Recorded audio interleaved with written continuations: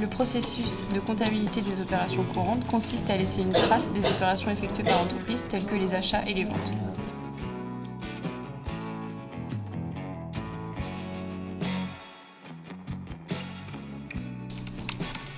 Tous les achats et toutes les ventes sont soumises à la TVA. Le processus fiscal nous apprend à déclarer la TVA et à remplir les documents fiscaux.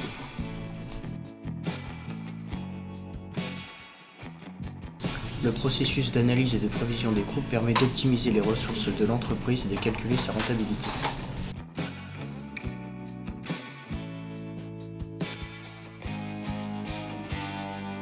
Le processus relations sociales nous apprend à établir des bulletins de paie et des contrats de travail.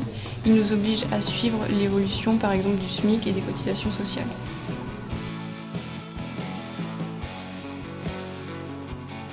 Donc nous avons 10 semaines de stage durant les deux années, donc soit en cabinet comptable ou en entreprise.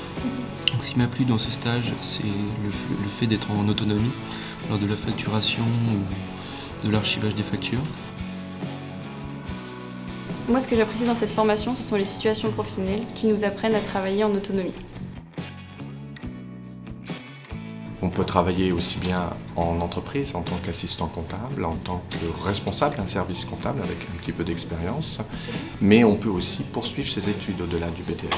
Effectivement, euh, nous pouvons accéder à des licences professionnelles, qu'elles soient directement en lien avec la formation comptable ou bifurquées vers des formations qui sont au choix de l'étudiant, pourquoi pas des formations commerciales.